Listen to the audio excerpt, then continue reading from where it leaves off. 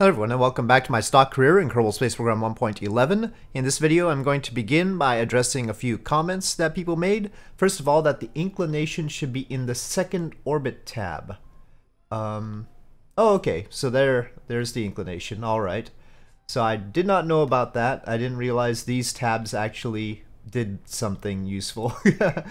well, live and learn. Uh, again, a new feature. Anyway, uh, new for me anyway. Uh, so, okay, so that I now know. And then uh, you should be able to level up Sidwise and Daftry in the mobile processing lab in the Dres base. Okay, well, let's see. It's a little bit late uh, because, uh, of course, we've deployed this stuff already. But let's go over to the mobile processing lab. Okay, grab. Oh, I, I, I uh oh, uh oh, board. Uh, you, you're knocking that thing around. That's not good. Okay. Level up crew. Oh, okay. So that too I did not know. Alright, so we've leveled up Sidwise. We might as well, um, well, we'll get Sidwise and back to the pod and then level up Daftry. So, EVA. Oh, oh, that's awkward though. Can we like redeploy the panels? I don't know. I'll leave them be. They're providing enough power. And uh, yes, so I can impact something into the surface for the seismometer, but I don't have anything to impact right now. Somebody uh, suggested using the atmosphere of Jool to slow down. I don't know what the heating effects are like in stock anymore as far as entering Jool's atmosphere, but I was too nervous that things would explode in that case. So I didn't think that that was a particularly good idea. Of course I thought of air braking, but without any uh, heat shielding, I didn't think it was a necessarily great idea. Okay, no, we'll just use the jetpack. There's no particular reason why we'll be leveling them up. Uh, you know, maybe I should leave Daftry here. Hmm. Well, uh, Daftry, yeah, maybe we should leave Daftry here with the science lab. Maybe we should just leave both of them here with the science lab to do the science. Does Daftry's level increase the amount of science we get from the science lab? So let's take data. Okay, so we got that data to work with. I don't think we've got a new EV report or anything. Let me just take stuff just in case I happen to forget in my excitement. I guess there's no contract reason to bring them back, so if we can get science out of it, maybe that's for the best. So, um, start research and review data. That's yeah, I guess we'll just put it in the science lab for now. Eventually we'll get enough data out of it. That we should just transmit. We can get another EV report from um, the other Kerbal. Gosh, yeah, I forget their names so easily. Uh, Sidwise. So yeah, let's just transmit that one. I think that's a duplicate surface sample. Anyway, we're almost full up on data here. And we're getting 17 science per day. So, Sidwise is an engineer. Does Sidwise help with the science rate per day if I put Sidwise in the science lab? Let's find out. So, I'll get another EV report here. Oh, that doesn't do anything though. Well, it might do something if we put it in the science lab. Alright, so now we've got an extra person in the science lab, but um, let's just level up crew. Okay, leveling up Daftry increases the science rate, but Sidwise is not increasing the science rate at all. So that is the situation. The EVA report we can't put in. Okay, so that was useless. Alright, so Daftry at least needs to stay here. Sidwise can return, but we don't have a mechanism for that yet. Let's focus on returning the crew from Jool, which we actually need to do in order to fulfill uh, the Melrick mission we don't need to uh, bring anybody else back from Jool, but right now we're a little bit short on crew at Kerbin, so we can't really do too much without bringing people back.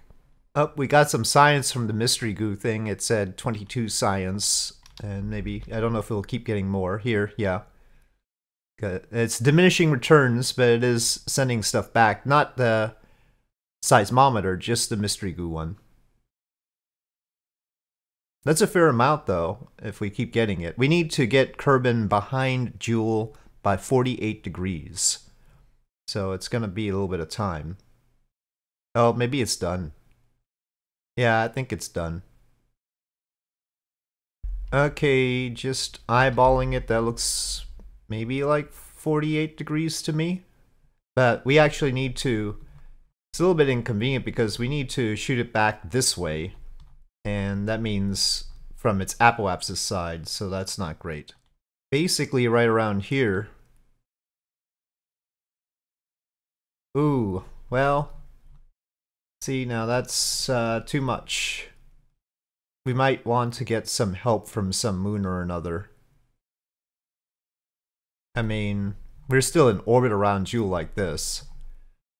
Okay, we're going to need to hit a moon and then get flung out. In just the right way. uh, let's see. Tylo's ascending notice right there. I mean, that's an encounter, but it's not a good enough encounter. Well, that's a boost. We can see that that's boosting us up after we spend 700 though. Okay, that looks like it's on escape, but is it in the right direction? Not super duper really. We can get Tylo to boost this up, but we can't reliably force it to boost us up in exactly the right way. But okay, let's say we got it to give us an escape, but that's a very radial escape. Oh, that's definitely not what we want. That's a double encounter. What is going on? We re-encounter Jool in 142 years. we can't wait that long. But if we re-encounter Jool in 142 years, it'll fling us in the right direction. and uh, we'll end up with a lower sun periapsis. That's fancy. Okay, so let's say we're in interplanetary space and we want to get back to Kerbin. Uh, okay, well that's getting pretty close. How much is it costing? Ah, that's all of our Delta V. I don't know if that's a good thing to do. Maybe we can just do it in the Jool system here and go the right way. Let me see how much that costs. Oh, there's an encounter. So let's just see our delta V's here. First, we boost up 668 to Tylo. Encounter Tylo at 442 kilometers. Um, that's too much, isn't it? Uh, so 144. Uh, it's really close. That's 2,419, and we've got 2,483. I still don't know how hot will be coming in. It could be very hot. Okay, there we have an encounter, but we need more than just an encounter. We need to make sure we're in the atmosphere and everything. No, actually, it's it was only showing me the first digit. It's actually 24. For some reason, it truncates that to 2, but that's actually 24.85. I don't know why it's doing that. That's not nice. Okay, well... So, how much is it? Well, 675 first, and then we do a maneuver out here for 1668. That's not much cheaper, is it? 2343. Well, it's uh, about 70 cheaper, so we'll go with it. But, man, alright. Focus, and let's wait for the maneuver node, and we better do that right. What we really needed to do was level up our pilots. Okay, five, four, three, two, one, burn. Let's also hope the center of mass doesn't cause this to flip. That's another concern. You just stuck that other pod on top. Like, that's just okay. Even so, we're not gonna get a precise, precise match on our Tylo encounter, I'm sure. And then there's that maneuver, and we no longer have a encounter with Kerbin after that, so let's fix... Okay, well, that's probably still gonna change as we pass through Tylo SOI, we'll see. But uh, we'll try and be patient through Tylo SOI, but 1661. And, well, let's see it go. So, fuel's looking nice and big here. We are missing Laythe by virtue of our inclination. And here comes Tylo. Okay, 69 kilometer Tylo pass. Did we ever get low over Tylo? I think so. But let me just double check. EV report. Well, just above Midlands. It could be specific to the biome. Oh, I should have had Tansy take the crew report and everything, but that's gonna take a while. Take data. No, board. I hope it doesn't get confused by that. Crew report. Okay, now we've got in space near Tylo. Keep. We don't have any other experiments on here, so. Alright, so that was our Tylo pass. Now our exit from the Jool system. There they go. We have not explored the tiny little ones at all. All in Bop. That for another time. Okay, now we're in Jool space. Uh, not uh, Jool space. Um, Kerbal space. Oh, we'll fine tune it after the burn. Alright, so we've still got our expected situation, and we continue. Okay, three, two, one, burn. Okay, well, that's as good as we're gonna get it like that. Let's see. I I don't know what altitude to go at, to be honest. Let me caps lock. I mean, 26 has worked out pretty well for us, but 26 might not be enough. Let's see. Let me just add a maneuver here and see how much delta V would take to capture here. 1300. Now, 26 kilometers is good enough to come back from Minmus with, and that's about a thousand meters per second and it doesn't cause us to pop up or anything like that. So maybe it'd be all right, but we'll also be coming in faster means that we don't spend as much time in the atmosphere. So that's a concern. I mean, as long as we capture first, then we can just pass through again and and uh, come in, but or we can be saved somehow. Uh, so we'll see. Let's get on into... And I guess before we decouple the service module, we can use what fuel we have to slow down a bit. But, yep. We are... I'll just go to tracking station and time warp there. Okay, approaching Kerbin SOI here. And we are in 26 kilometers. Is it still a good number? Hmm. I mean, it could cause us to have really, really serious heating. I can't see Kerbin anywhere. Um, so, oh, there it is. So that's a problem. I mean, just for reference, when entering Earth's atmosphere from the moon, we hit the atmosphere at about 60 kilometers. So much, much higher because we're coming in very fast. But we, we'd be coming in much, much faster than this too, right? Uh, entering Earth's atmosphere, it's 10,000 meters per second. So, yeah. Earth is also bigger, so you spend a lot more time in the atmosphere as you make a pass like that. I mean, this doesn't seem too bad.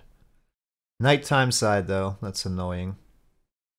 Okay, we're going to try to use some fuel for braking. Um, so, let me see. Okay. I don't want to raise the periapsis or lower it. So we slowed down as much as we could with the fuel on the service module. I'll leave the RCS, that's probably not that useful. I should have put the RCS on the pod instead, the little ports, because the fuel is in the pod. We could have still used it if we needed to make minor corrections later on. But did not think of that. Okay, service module separation. I don't know about this one battery on the side. That might imbalance us a bit. Well, I'm not gonna take any chances. We're bringing it into command pod. Gives us less electric charge active, but I feel a little bit better about it too. Parachutes are not at the right pressure. Well, full ablator. Let's see what happens. It's getting red.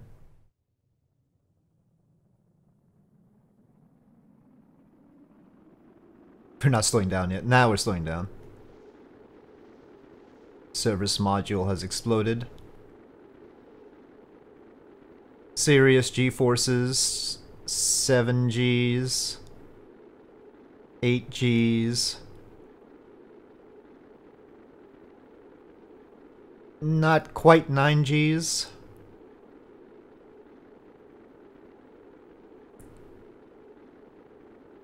Oh, Arnard is reaching G limit.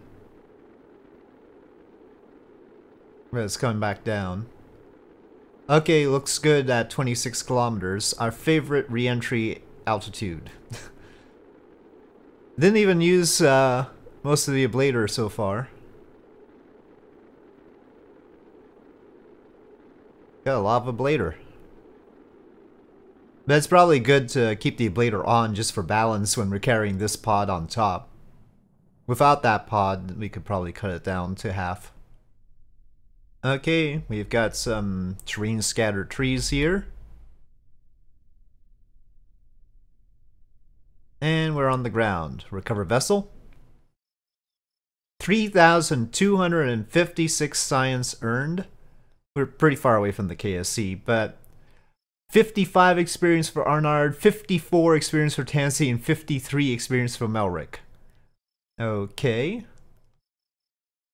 Alright, that's a lot of experience. So, well, let's take a look at the R&D building. Oh, heck, let's get spe specialized control just to... Well, let's just wash out the lower tiers, maybe. No, no, let's think about it for a sec. That's 1,000. Um, we really could use a better relay antenna, so this one is the ultimate mega relay antenna. Let's do that. Ion engine stuff is special. MTM stage. Oh, that's the... These are the parts they made for Be Bepi Colombo. I had made a Bepi Colombo mod of my own. They look about the same. Anyway, um, uh, I don't really need to Bepi Colombo. I don't know if there's any benefit to Bepi Colomboing. A mini RTG that costs only 10,000. Anyway, um, I don't know if I need an RTG. I don't, because the system is so small, you still get solar power from way out there. I'll get the engines. Those tanks are nice. I don't need the 5 meter tanks. Yet. Inflatable airlock is curious. I feel like just getting the rapier sooner rather than later would be nice. Let's finish off all the airplane parts. And I wanted the external command chair. These other wheels I'm not sure about and the grip strips. Somebody had been trying to convince me about the grip strips, but I'm not sure about the grip strips yet. Um, the OKTO 2 is cute. I like its form factor. But yeah, let's uh, complete flight. And so now we have the Rapier engine as well. if we so choose to do more airplane things. And so that is how I have spent all my science. Well, not all of it. We time warped so much, we must have some uh, still at the science lab. Let's see what the science lab has produced during this time at the Dres base. We also have another one around Eve. Okay, so science lab. Uh, yeah, it's pretty much full up on science. So let's see. Can we transmit that science? Our electric charge is really doing badly, though. Wow, it's also using... Okay, okay, stop research. We need to re... replenish our electric charge here. Let's see. Transmitting... Uh, I hope it's on the right setting. Oh no, it's on require complete. Okay, now we got all the science from the science lab. I'll tell them to continue research. Still got the, most of the data, so no problems. I just want to complete this tier, so let me just get that. Alright, so we've completed the 300s, and now we're over here. We'll need 3,000... 5,650 to get everything. Let me take a look at our contracts. Now, one thing, we, we need to do asteroids. Class C asteroid into orbit around Gilly. And then it has expand Gilly station. Which is also special. Uh, position a satellite in a specific orbit of Gilly. Well, if we're going to do Gilly things, let's do Gilly things uh, new orbital station around Ike. Maybe this class A, but if we're gonna do class C, let's just do class C. Okay, let me find a class C asteroid. That's a class C. So it encounters Kerbin there in 29 days. This one's earlier, this one is coming in quicker. That one's too far out. I don't get a good feeling for that one. All right, so one of these will be our target, and we'll grab it and then mine it. We're going to have to use it for resources. Hopefully, we can use the ore drill and everything. First time we'll be using that, and we will send it over to Gilly. That is the plan, but I will save that for the next episode. So this is probably going to be a short episode, but I feel like that is its own thing. So we'll wait till the next video for that one. For now, thank you for watching. I hope you enjoyed this video. If you did, please do press like. If you have any comments or suggestions, please leave them in the comment section below, and I'll see you next time.